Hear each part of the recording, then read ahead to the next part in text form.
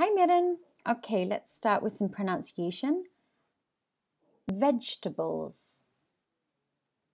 Vegetables. Liked. Liked. Um, postre, dessert, dessert, and desierto, desert, desert.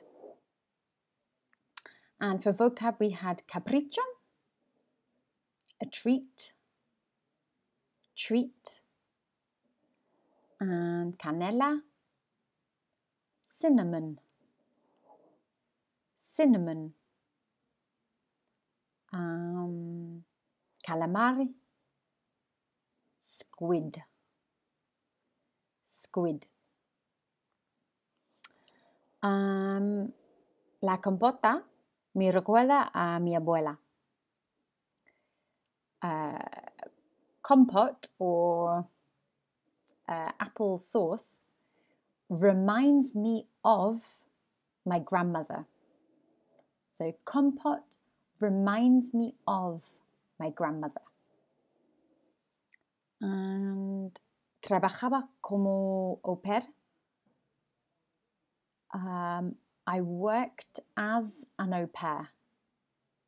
I worked as an au pair.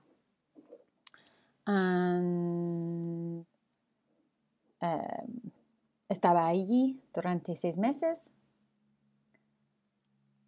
I was there for six months. I was there for six months. And remember, then I've been there for six months means that you're still there now. So, I've, for example, I've been living in Donosti for three years and I still live here now. Um, okay, let's just be careful of that. Okay, thanks. Bye.